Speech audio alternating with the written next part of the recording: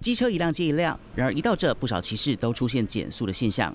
连接双北的机车引道入口处这一大块漆面，虽然标注是机慢车专用，但不少骑士行经此处却都有莫名的恐慌感。会比较滑，嗯，会比较滑，就会减速。更大片的话，更大片那更恐怖。下雨的话时候应该会了，会有没有感觉到会比较有有有。不想累残，骑车最好远离标线，尤其下雨天，这一观念早就烙印在不少人心里。细长的都这样，何况大块的？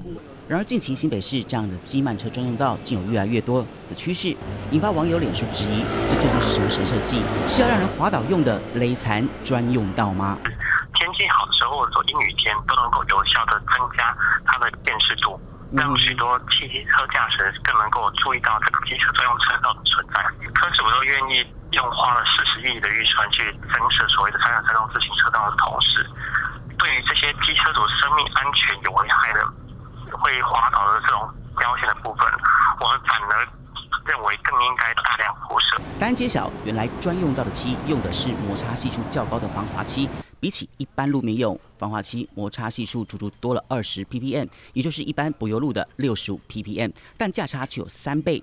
目前新北市推广一年，所有连接双北桥梁引道共计十七处设立，而板桥更是一般道路标线也都改采防滑漆。台北市拖了一年，直到上个礼拜才决议采用。下回骑车若发现脚下这样一大块颜色，放心骑过去就对了，但可别超速。借吴奎言、严靖宇新北市报道。